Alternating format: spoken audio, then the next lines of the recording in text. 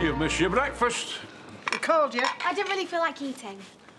Hey, why aren't you wearing a uniform? I'm not allowed back till next week. That's not guaranteed. You want to make a good impression if you don't want to be expelled. You'll get changed before we go, won't you, love? Yes. And no answering back. Mr Duggan will expect a proper apology. Mum, apology. I know, you don't have to keep going on about it. Hey, none of that.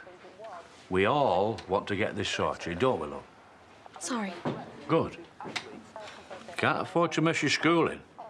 Besides, you'll want to get back with your mates, won't you? I don't have any mates, Dad.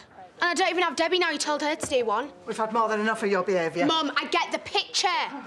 I'll just pretend that I'm the one in the wrong. Well, it should be easy, shouldn't it? Because I always am.